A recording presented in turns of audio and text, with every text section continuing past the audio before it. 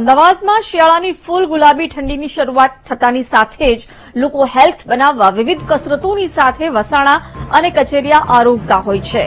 અમદાવાદમાં પણ લોકોએ કચેરિયાની ખરીદી શરૂ કરી છે. હાલ સફેદ અને કાળા તલના કચેરિયા બનાવવાની કામગીરીથી દેશી ધાણીઓ ધમધમી રહી છે. ઇમ્યુનિટી બુસ્ટઅપ માટે કચેરીઓ શ્રેષ્ઠ આહાર ગણાય છે.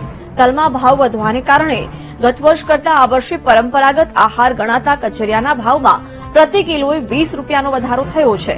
ત્રીસ ટકા ભાવ વધવા છતાં લોકો કચેરિયાની હોંશે હોંશે ખરીદી કરી રહ્યા છે. અત્યારે શિયાળાની સિઝન છે.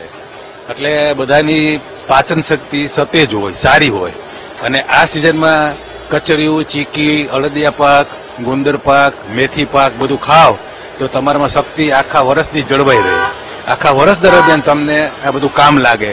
આમળાનું ચ્યવનપ્રાશ આ બધું બરોબર? અત્યારે જે બાળકો, જે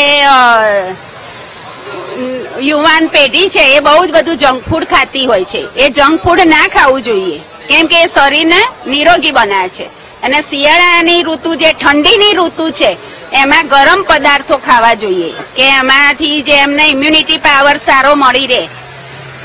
રોગ પ્રતિકારક શક્તિ વધે, સ્વાસ્થ્ય નિરોગી રહે. એના માટે આ કાળા તલનું કચોરિયું, સફેદ તલનું કચોરિયું, સિંગની ચીકી, તલની ચીકી, ગોળથી બનાવેલી હોય છે, એ ખાવી જોઈએ.